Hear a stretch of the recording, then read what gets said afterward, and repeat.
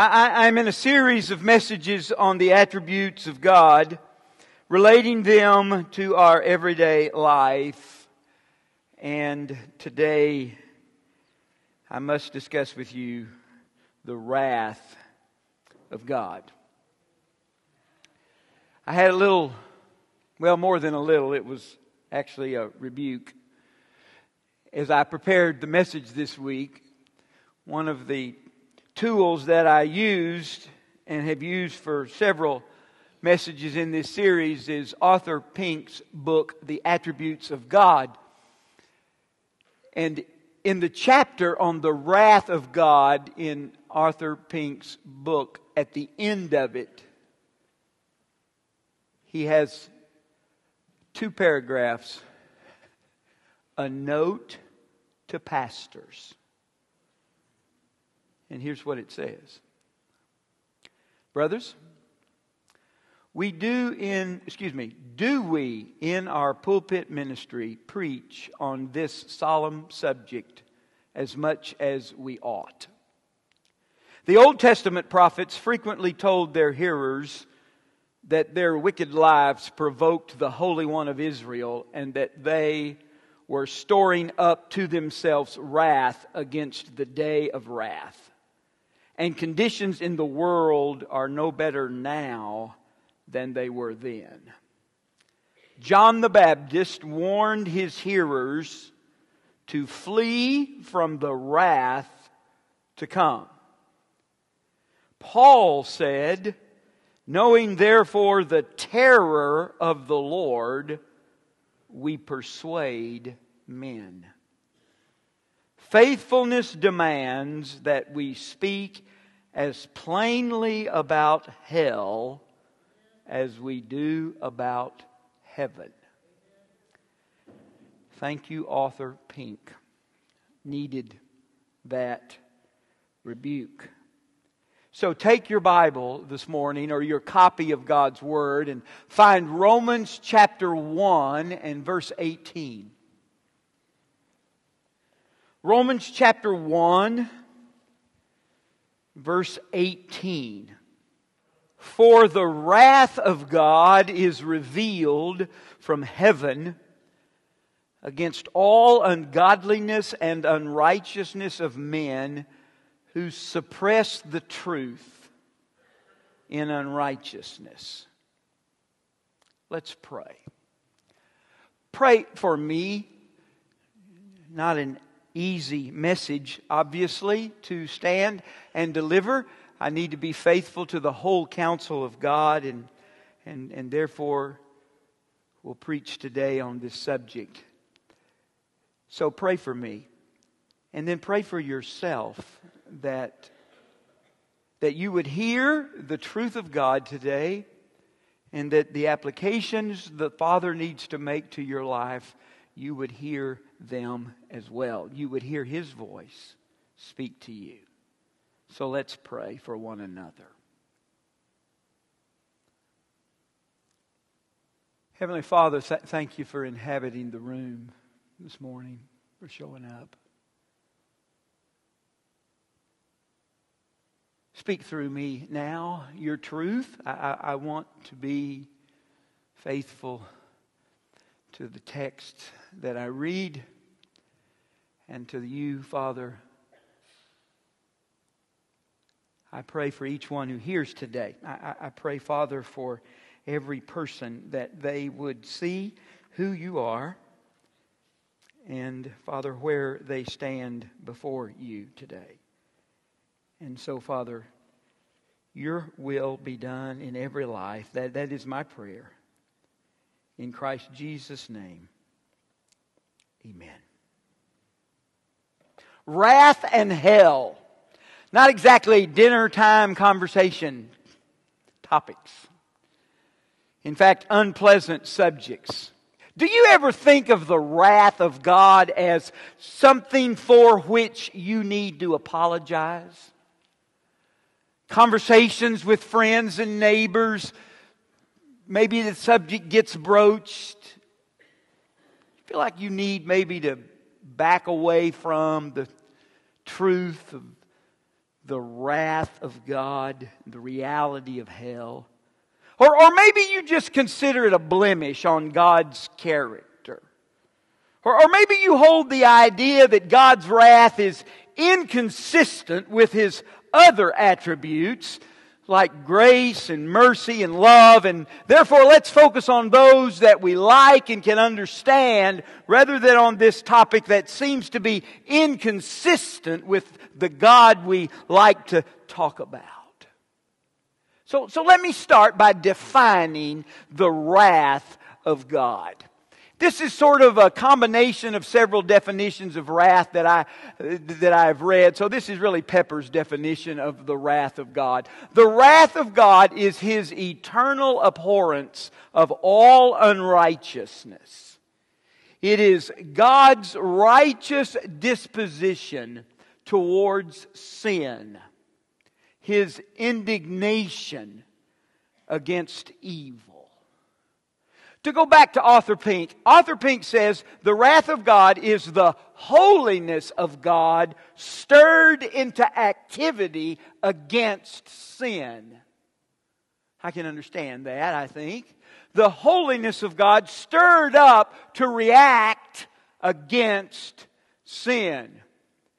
Another theologian says it is the just sentence which God passes upon evildoers. The just sentence which God passes upon all evildoers. Would it surprise you to know that there are more references in Scripture to the anger and wrath of God than there are to the love and mercy of God? Indeed, there are. The wrath of God is simply a part of divine perfection. Just as much as holiness and sovereignty and faithfulness, those topics and attributes of God we've already looked at, just as much as grace and mercy and love, those attributes that await us in the weeks ahead. The, the wrath of God is a part of divine perfection. God's character would have a flaw in it if his wrath were absent. How could he be infinitely holy and yet disregard sin, overlook sin, refuse to deal with sin? How could he who delights in what is pure and lovely not hate and detest what is impure and vile? So the very nature of God makes hell a necessity as much as heaven is a reality. So look at our text again. For the wrath of God is revealed from heaven against all ungodliness and unrighteousness of men who suppress the truth in unrighteousness. Here's my life point this morning God's wrath is revealed because his justice is sure. Our text tells us that the wrath of God is, is revealed in its present tense. It's not say the wrath of God is going to be revealed one day. It doesn't say the wrath of God has been revealed. No, the wrath of God is being revealed because his justice is sure. Now, here's what I mean by that I mean that wrath is the active and visible side of God's justice. Wrath is the active, visible of the justice of, of God. Now, just think with me for a moment. God's justice and wrath are first seen in the Garden of Eden. The sentence of death is announced, the earth is cursed, and Adam and Eve are driven out of paradise. His wrath is revealed there in Genesis chapter 3 because his justice is sure. And we don't have to go very far from that account to God judging Cain for Abel's murder. Then we continue on and we see that God judged the world for the epidemic of sin, and God, in His wrath, sent a flood. Then we take you to Genesis chapter 18, and I, I want to quote it right, so I've marked it in my Bible. In Genesis chapter 18, you see that God is about to judge Sodom and Gomorrah. He's about to pour out his wrath on Sodom and Gomorrah. And, and Abraham gets into this bargaining with God. If you remember the story, uh, for 50 people, if there's 50 righteous people down there, God, would you, would you destroy the cities? And, and God says, well, no, if there's 50, I'll not do it. And then Abraham starts, well, what if there's 45? I mean, would, what if they, you know, they, what, what if they're just missing five? All they need to make 50. What if there's 45? Will you destroy it? And God says, no. If there's 45, I won't destroy it. And then, says, and then Abraham says, well, God, what if there's 40? And then what if there's 30? And, and what if there's 20? And, and, and what if there's just 10, right? And so Abraham's going to bargain with, and in the midst of that conversation that Abraham has with God concerning whether or not he should pour out his wrath on Sodom and Gomorrah, Abraham makes this amazing statement. Abraham says, Shall not the judge of all the earth do right? Shall not the judge of all the earth deal justly? In other words, what Abraham tells God, what Abraham reveals to us about God, is that whatever God does with Sodom and Gomorrah, it will be just. It will be right. Shall not the judge of the universe, shall not the, the God of the universe deal justly? And Abraham is, is exactly right. Now, you know the story. In his wrath, God destroys Sodom and Gomorrah because he does right. He acts with justice, he deals justly. And, and then you move into Exodus, and in his wrath, God sends plagues upon the Egyptians who are enslaving his people. He sends that series of plagues designed to get the Egyptians' attention and to recognize him as Jehovah God. And God then leads through Moses, God leads his people out of Egypt and into the wilderness. God has sent his wrath upon the Egyptians. He does right and he has acted with justice. Then in the wilderness, in his wrath, God sends poisonous snakes upon his own people who are rebelling against him.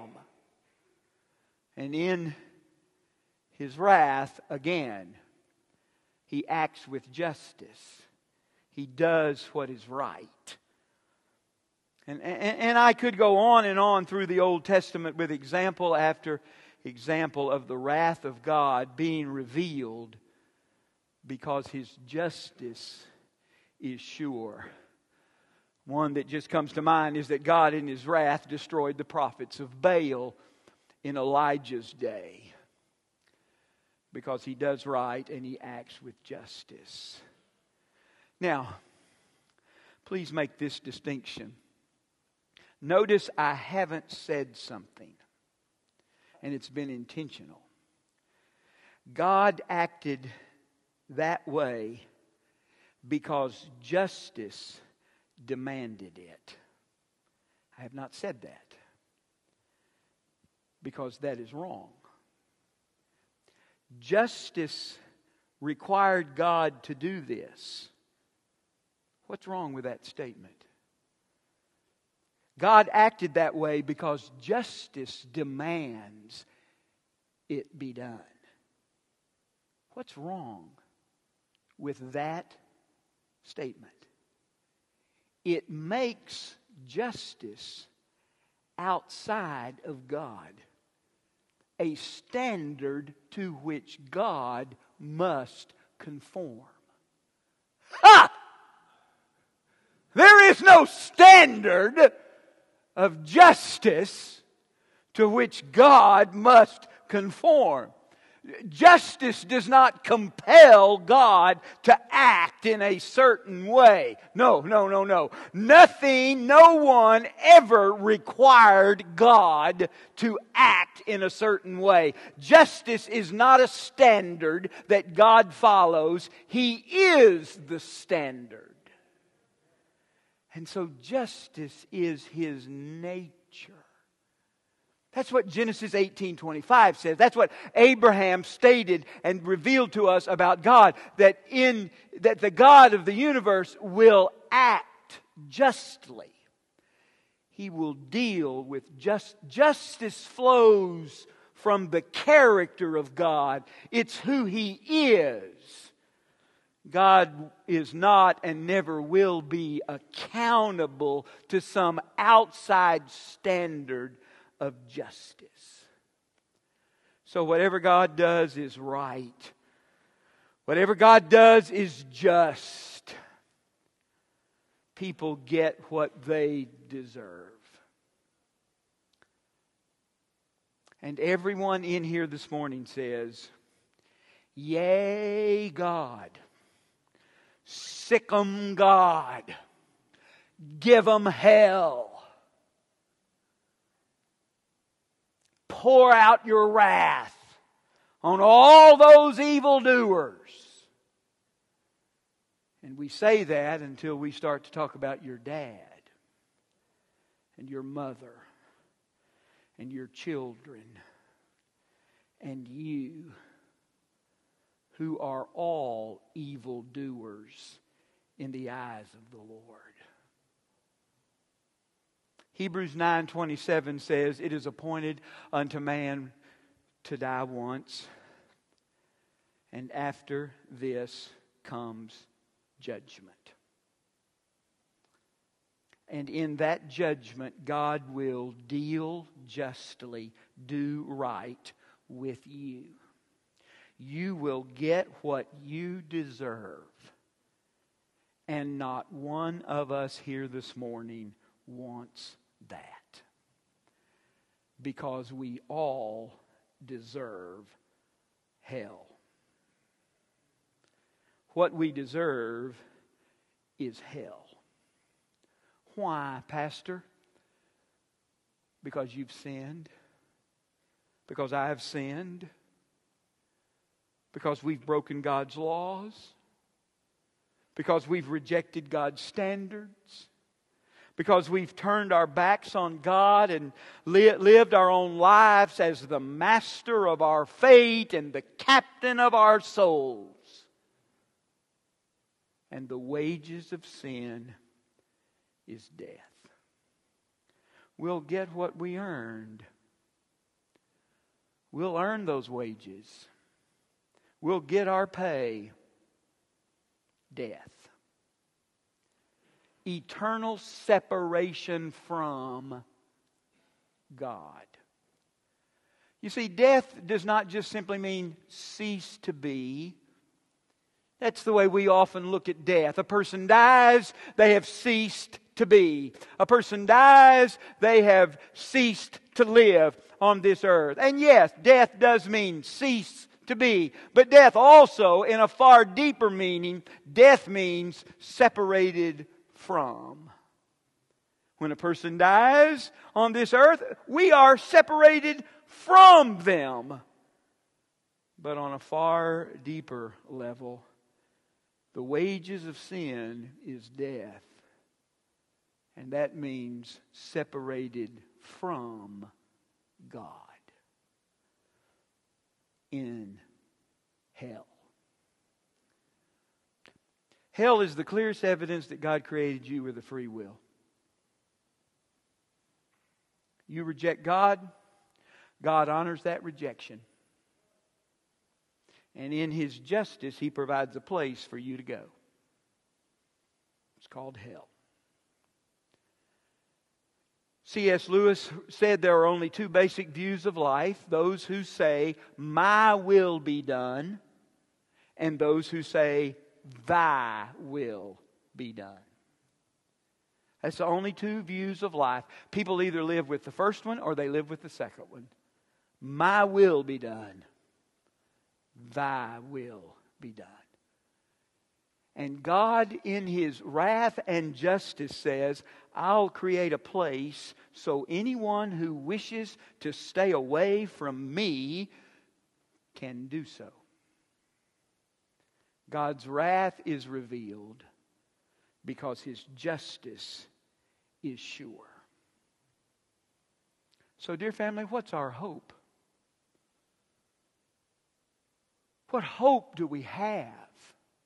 If we're going to stand before God in judgment and, and get what we deserve, and what we deserve is, is hell because, because we have sinned, we have broken God's laws, we've rejected His standards, we've, we've turned our backs and we've lived our own way. What is our hope? It's found in Romans chapter 3 and verse 21. And if you've got your Bible, I only have to turn one page, but turn to Romans chapter 3, verse 21, and I, and I want to show this to you.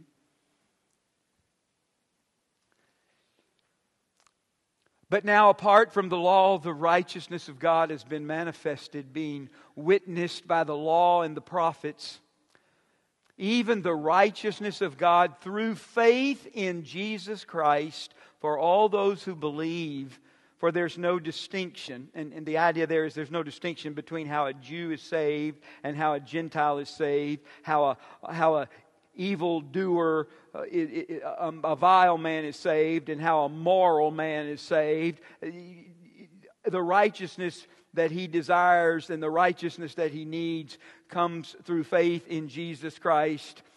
There's no distinction among people. For all, the Jew, the Gentile, the vile sinner, the moral man, all have sinned and fall short of the glory of God, being justified as a gift by His grace through the redemption which is in Christ Jesus. Romans 6:23 says for the wages of sin is death but the gift of God is eternal life. Now focus in on verse 25 because this is where we're going to spend our time verse 25 and 26, whom God displayed publicly. This is Christ Jesus, whom God displayed publicly as a propitiation in his blood through faith. This was to demonstrate his righteousness because in the forbearance of God he passed over the sins previously committed. For the demonstration, I say, of his righteousness at the present time, and here's our key phrase, and I've put it on the screen for you, so that he would be just and the justifier of the one who has faith in Jesus. Now, dear family, there's our hope. Our hope is through Jesus Christ. Now, listen to me and learn. When God's wrath against sin sentences a person to die, separated from Him for eternity, every one of us here under that sentence of death. When God's wrath against sin sentences a person to die, that does not contradict His grace or His mercy. It's not that God's wrath, God's justice wants to condemn the sinner, and His grace and His mercy wants to pardon the sinner. So God's going to argue with himself, and the one that wins is the one that determines your fate. And so it's like God's got justice and wrath on one shoulder, He's got mercy and grace on the other shoulder, and they're speaking into His ear, condemn Him, condemn Him, condemn Him. And this one speaks into His ear, pardon Him, pardon Him, pardon Him. And so God is in this great argument with Himself. No, not at all. Remember, I told you in an earlier message that all of God's attributes are exercised in everything He does. In fact, A.W. Tozer put it this way all of God, that's all His attributes holiness, sovereignty, faithfulness, mercy, love, grace, wrath, judgment, justice, all of God does all that God does all of God does all that God does. He does not divide himself up into the different categories and attributes in order to perform a work. All of God does everything that he does. So grab hold of this. Notice that phrase, so that he would be just. God doesn't overlook your sin, can't do it. God doesn't ignore your sin? No, He can't. God doesn't treat lightly your sin or my sin. No.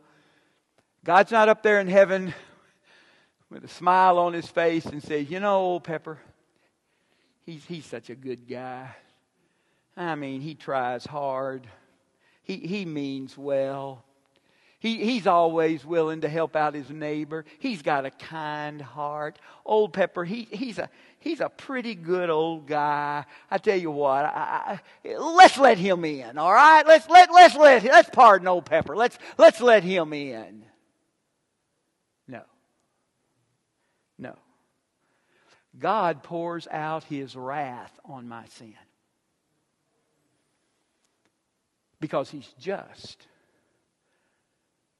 Can't overlook it, can't ignore it. God pours out his wrath on your sin. Who gets it, though? Jesus. Jesus. So you look at that word in verse 25 that you can't pronounce propitiation. I mean, it's, it's, it's, it's a difficult word to pronounce. Listen, I went to seminary for three years to understand what it means, okay? Let me, let, let me share it with you. It is a beautiful word. In fact, it's the same word that is used in the Old Testament for the top of the mercy seat where the blood of the animal was sprinkled after it had been sacrificed for the sins of the people. The top of the mercy seat became a propitiation. Do you know what it means? It means the place that absorbs the wrath of God. The place that satisfies the wrath of God. Jesus becomes your propitiation in that he becomes that place that absorbs the just and deserved wrath of God upon your sin. He absorbs it. He, he satisfies God's just nature to punish sin. Do you understand that's what happened at the cross? My God, my God, why have you forsaken me? At that moment, God, who is holy and pure, placed all the sin of humankind on his son Jesus and turned away.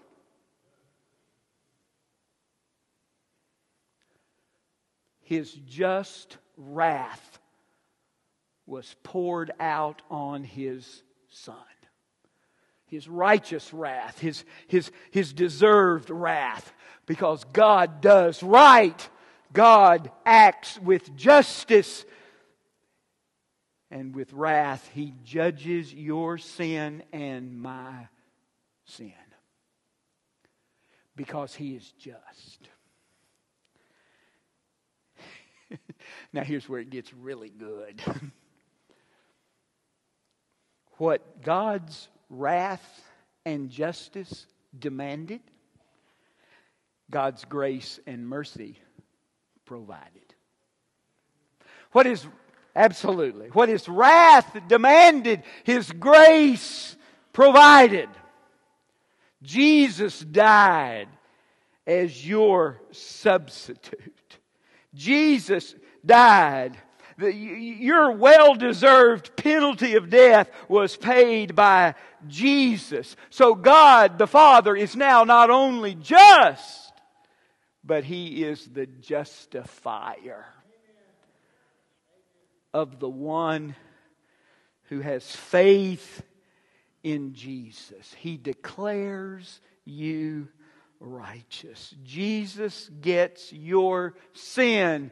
You get the righteousness of Jesus. In fact, that's what 2 Corinthians 5 21 says. He made him who knew no sin to be sin on our behalf so that we might become the righteousness of God in Christ. In Christ. And to receive this gift, you place your faith and trust in Jesus and Jesus alone.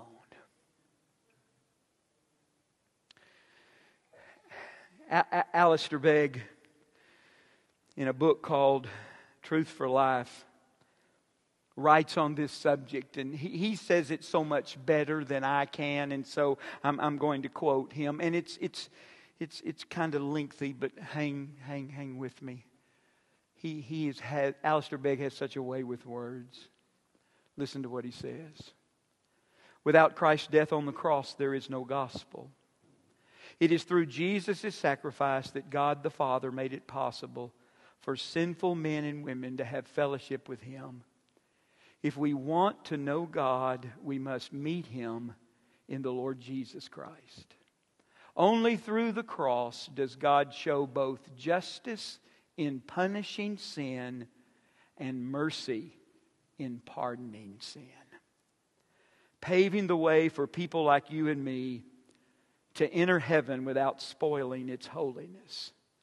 The cross is God's answer to answer both to sin itself and to his wrath against sin. To those who don't believe that, God's answer sounds absolutely foolish. But to those of us who do believe and understand the cross, it is the very power of God. If God were simply to overlook sin or stop being angry at it, then he would cease to be God. For God's justice is inherent in his character, and justice demands that sin is punished. He cannot turn a blind eye to evil. The cross of Christ is the way that God can be just and declare innocent sinners who have placed their faith in this crucified Savior. In order to deal with sin, God, in His grace, sent His own Son to take the punishment that sinners deserve, and our salvation is by way of substitution. This substitution is why all the Old Testament sacrifices point to Jesus. In Christ's death, God's wrath, which is His righteous disposition towards sin, is satisfied, and His love for you and me is magnified. That's it, dear people. That is it. Jesus came to bear the sin of all the world, and that's your sin, and that, that is my sin. And when Christ took our place, He took on Himself the judgment that we deserve and are due to face on the last day, He took that to the cross so that we might stand before God's throne and say, I'm with Him. He lived the life that I could not live. And I'm placing my faith in your Son, Jesus. He died in my place. Now, listen to me. Sir, ma'am, if you're clinging today to some vague idea that God is a good God and He's never going to punish sin, much less send you to hell,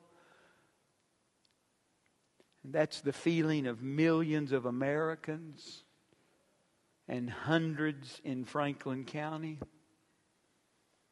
That belief quiets their fears, allows them to go on living their lives as if nothing's going to happen to them. They live their lives as they see fit, practicing all kinds of pleasant sins because after all, God is a good God. He would never punish sin, much less send anyone to hell. How could a good God send anyone to hell?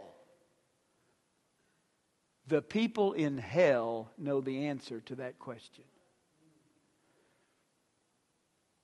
A good God doesn't send anybody to hell. A good God sent his son so that no one would have to go to hell. Anyone who goes to hell has said, God, I do not want your will or your son in my life. And God honors that desire. Those in hell have chosen to be there. Embrace Jesus this morning. Would you place your faith in Jesus Christ today? It's appointed unto man once to die, and after that, the judgment. You don't want what you deserve. You want to meet the God who is just and the justifier of those who have faith in Jesus Christ. Those who believe in him do not come into judgment, but have passed out of death and into life. Would you embrace by faith Jesus today? And listen to me, brothers and sisters. This message ought to break our hearts. People need the Lord. Every day they pass me by. I can see it in their eyes. Empty people, filled with care, headed who knows where. People need the Lord. We are called to take His light to a world where wrong seems right. What would be too great a cost? for sharing life with one who's lost. Through His love, our hearts can feel all the grief they bear. They must hear the words of life that only we can share. People need the Lord. Let me pray.